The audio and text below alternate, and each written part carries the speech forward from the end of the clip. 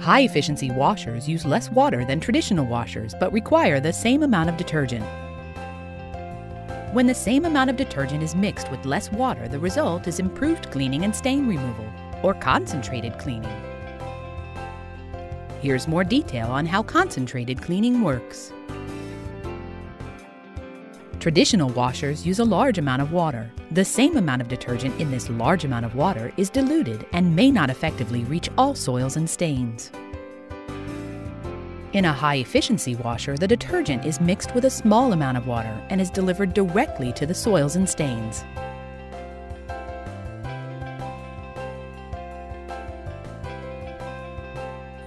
Please note that although detergent amounts may be the same between traditional and high-efficiency washers, high-efficiency washers require a specially formulated HE detergent to provide the best cleaning and rinsing results. HE detergent is designed to have very little suds, so the cleaning agent works more directly on soils and stains and is easily rinsed. Using traditional detergent in an HE washer will produce too many suds.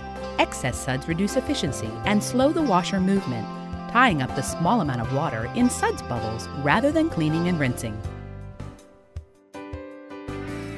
Most HE detergents cost no more than traditional detergents when comparing the average cost per load.